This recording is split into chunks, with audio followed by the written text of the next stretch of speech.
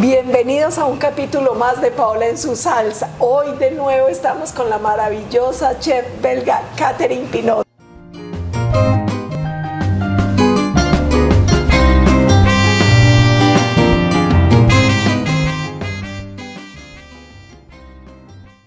Hoy qué vamos a hacer? Vamos a hacer una ensalada tibia del sur de, del país y se llama ensalada de habichuelas o tocineta y en francés se dice salade de Liège.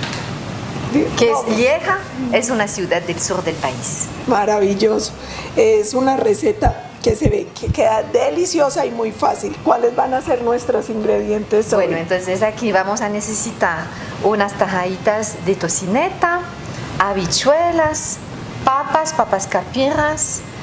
Y para la salsa vamos a utilizar una cebolla morada, vinagre balsámico y azúcar morena. Vamos a hacer un estilo de reducción de balsámico. De balsámico, no a la hoja. Entonces aquí ya tengo dos ollitas con agua caliente para cocinar la papa y las habichuelas. Entonces, como vamos a limpiar o terminar de organizar la habichuela, ya hicimos una parte para agilizar las cosas. Entonces, mira, yo quito estas partes. Las punticas. Las punticas y la parto así a la mitad porque estoy pensando a la presentación de mi ensalada. Entonces yo quiero así pedacitos grandotes en la ensaladera, ¿cierto? Y las papas uh, ya las tenemos también aquí en cubitos porque vamos a mezclar las papas con las habichuelas en la ensalada tibia. Entonces yo hago uh, las papas y tú haces las habichuelas, ¿te parece? Bueno, listo. Katherine, cuéntame un poquito de tu vida. De no. mi vida, ¿qué sí. quieres saber? De todo. De Casada. Todo. Casada. Con hijos. Con dos adolescentes, uno de 16 y otra de 18. Sí. Uh, muy feliz con mi escuela de cocina aquí en Medellín hace seis años. Uh, con este don que me regaló el Señor uh, con mis manos para poder sí. enseñar y cocinar y, y dar felicidad a través de la cocina. Y, y, sobre todo súper agradecida porque acabo de terminar un proceso de, de, cáncer del seno, pero la verdad me fue muy, muy bien. ¿Cómo te atendieron? Eso fue, te imagínate que eso fue para mí, era un temor cuando venía aquí, cuando tomamos la decisión de venir aquí, de, de tener como una enfermedad grave, porque yo sí. pensaba de pronto no me atienden bien en estos países, ¿cierto? Sí, claro. Siempre y, hay una prevención. Eso y no fue algo espectacular. Tengo una IPS muy buena y tienen un programa muy especial para el cáncer del seno. Y todo, todo, todo desde el inicio, desde el diagnóstico, todo el tratamiento, mucho acompañamiento, fue excelente. Qué bueno, y un mensaje, Catherine, también para las mujeres, porque es muy común en el cáncer de mama y es muy importante detectarlo a tiempo. Entonces un llamado también para que las mujeres siempre, siempre se estén haciendo el autoexamen. Bueno, esta va a ser la olla de las habichuelas. Entonces Perfecto. le vamos a agregar sal. Y te voy a dar un truquito, no sé si lo conoces, para conservar el color verdecito de las verduras verdes, como brócoli, espárragos, habichuelas, arvejas, un tris de bicarbonato. No sabía esa sí. receta. Eso te va a conservar el, el color, color verde. Porque si no se pone como medio pálida. Eso, sí. Entonces aquí vamos agregando las habichuelas. Las habichuelas no la vamos a sobrecocinar como 8 minutos, entre 8 a 10 máximo. Y vamos revisando con un tenedor el punto de cocción que tienen. Y en esta vamos a agregar las papas que ya tenemos listas. Aquí también me falta la sal en el agua de cocción de las papas. Puede ser así, con generosidad. Y Paola, cuéntame, un pajarito me, me dijo que tú tenías como sueños o una visión muy grande y que de pronto estoy cocinando con una futura presidenta. Ese es un sueño. Es un sueño de los de infancia. Y Catherine, yo te voy a confesar algo. A veces pareciera que existe mucha prevención con el tema de una mujer presidenta en Colombia. Y a uno todo el tiempo le dicen, es que Colombia no estaba preparado para una mujer presidente.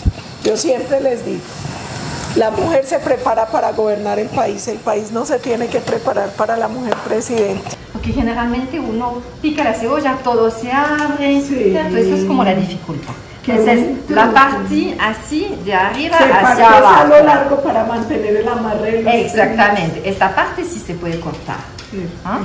Le quité la primera cáscara, la primera capa, perdón, y le estoy haciendo como líneas así paralelas. Y yo no voy hasta el final con mi cuchillo, en el sentido que no voy a partir esta parte que me amarra todo. Después voy volteando mi cebolla y le voy haciendo así cubitos súper lindos. Eso es el truquito para, para picar la cebolla. Vas a hacer lo mismo con la otra mitad, ¿cierto? Sí.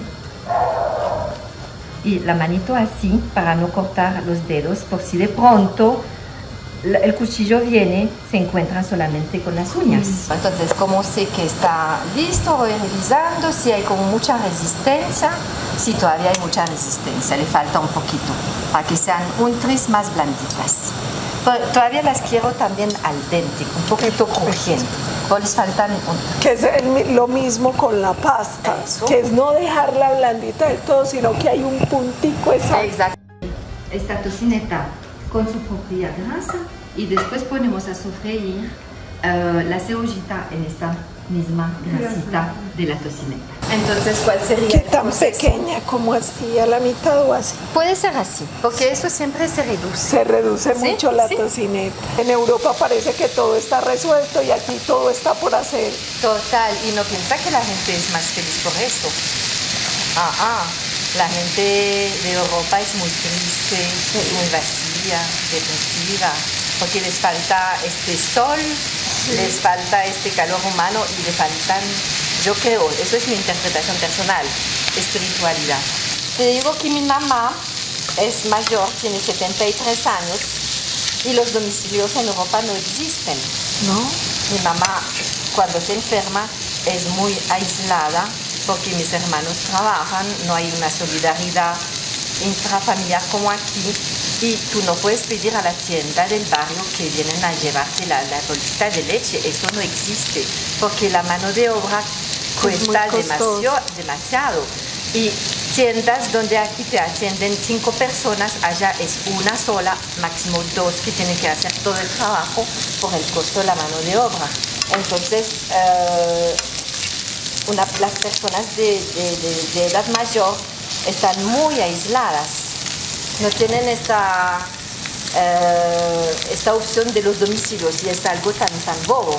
Al Sí. inicio yo, a mí me daba pena pedir el domicilio de la tienda de aquí a- atrás. Yo decía, no, qué pena, voy a molestar a este señor para una bolsa de leche. Y todo me decía, si eso se hace, Las familias se reúnen permanentemente, se ayudan, se visitan y eso en otros países no pasa. Durante mi proceso de- del cáncer, a mí vinieron a ayudarme mis cuñadas que viven del otro lado de la ciudad, viven en Sí. Manrique. Dejaban sus hogares, dejaban sus familias, me da ganas de llorar, para venir a cuidarme, hacerme el oficio aquí, me da, me da mi pena. Me Dicen, no, no, no, no me vas a limpiar eso, no me hagan nada, hágame solamente la comidita. Porque a nosotros los belgas o los europeos nos da pena pedir ayuda, nos da pena.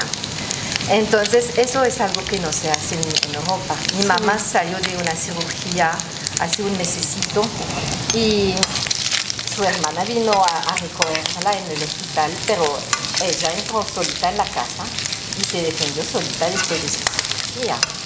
Y eso era normal porque a ella le da pena pedir ayuda a mis hermanos y mis hermanos tampoco no pueden sacar descanso o tiempo libre para venir a cuidarla y me parece muy triste. Entonces cuando me dicen que Europa son países civilizados y desarrollados, a veces me da ganas de reír porque se perdió esta noción de la familia y de la solidaridad. Sí, que aquí es bonito. A veces hay gente que no está tan de acuerdo, pero, pero yo siento que hay momentos en los que vale mucho no sentirse solo y saber que ahí hay una manito, que hay alguien que te va a ayudar, que te... es, es importante. Yo me sentí más acompañada aquí en mi proceso. Ya lo, dice, lo dije varias veces hasta mi mamá, a mis hermanos. Yo pienso que si me hubiera tocado vivir este proceso allá en Bélgica, me hubiera sentido más sola y más triste que aquí.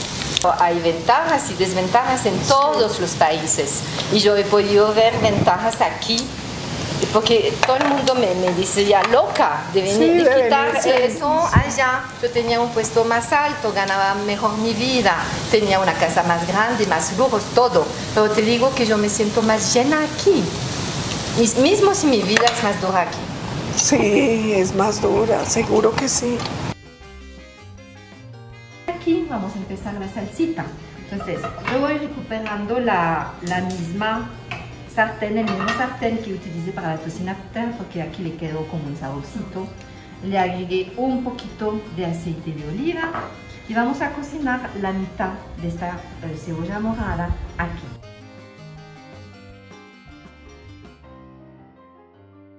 Le agregué entonces eh, vinagre balsámico, le vamos a agregar un poquito de agua y también azúcar morena o panela rallada, ¿cierto? Bueno, entonces mira que aquí estoy hidratando un poquito de fécula de maíz para espesar la salsita. Entonces la fécula siempre se hidrata en agua fría y se activa con el calor. Entonces que de una con el calor eso eh, se espesa. Le vamos a agregar pimienta, sal al gusto y ya tenemos la salsita. Delicioso. Además huele delicioso. Huele delicioso, ¿cierto? La cocina está aquí. Entonces, el perejil no se oxida como el cilantro, la albahaca, la hierba buena, entonces no se pone negrito. Entonces se puede repicar Ah. varias veces. Eso es un truquito de mi mamá, me encanta. Entonces, mira que lo puedes picar con estas tijeras y si te sobra, si te sobra perejil que no lo vas a utilizar, lo tapas con algo, nevera y mañana amanece Igual. así, igual de fresquito, de lindo. Durante dos o tres días lo puedes guardar en la nevera. Listo, entonces sigues picando un Qué poquito. buen por favor. truco.